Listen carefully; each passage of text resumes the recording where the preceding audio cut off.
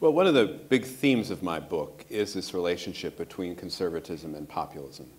And the irony that oftentimes the only way conservatives get into power is through populist politics, uh, which conservatives like Buckley and Meyer, who I've mentioned, were often ambivalent and, and kind of conflicted about. But this is clearly uh, evident in the Reagan election, with populism being one of the driving forces of Reagan's rise. But Reagan able to synthesize populism with the uh, supply side agenda, with the interests of the religious right, with the uh, tax cutting, uh, defense buildup, all the various factions of the American right as well. With his departure from the scene, this argument begins anew. Uh, and there, I've always thought it was very interesting.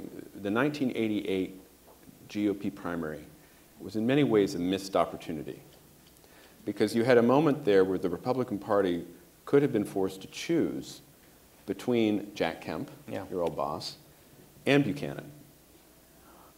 Pat doesn't run for president in 1988. He waits until yeah. 1992 because he recognizes, smartly, that Reagan's successor is probably going to be George H.W. Bush, who is not a Reaganite. No.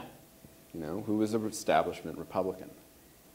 And so then we get the fight between the establishment Republicanism represented by, by Bush and Buchanan in 1992, representing the populist wing, po representing the resurgence of the old right in its attitudes toward war, in its attitudes toward immigration, and then really beginning in, the, in Buchanan's 96 campaign, picking up the trade issue yeah. as well, becoming more protectionist. So that debate uh, is had, but um, Buchanan never is successful.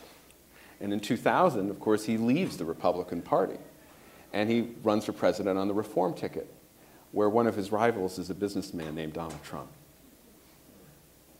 And uh, I think Buchanan is the first to recognize the irony that 16 years later, Trump would ascend to the presidency on many of the ideas that he was lambasting Buchanan about just in, in, the 2000 cycle. Um, but that, so at the time, at the moment, I do think the argument has been settled in the favor of the forces of populism.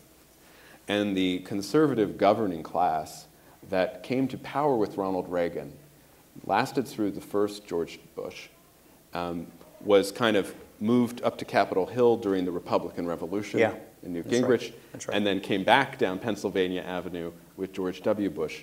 That, that conservative governing class, which existed for really about 30 years, uh, has been displaced.